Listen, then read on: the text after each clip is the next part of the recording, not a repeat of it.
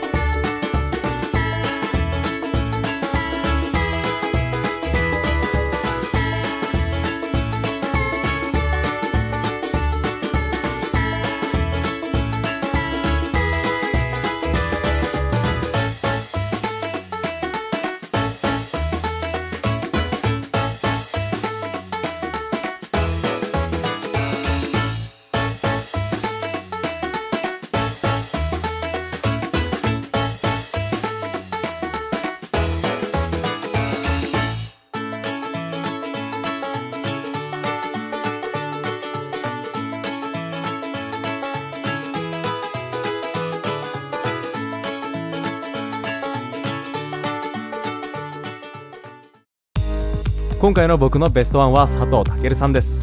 映画に出てる男前の佐藤健さんも好きですが女性化しても最高に好きです。もしよかったら皆さんの一番もコメント欄で教えてください。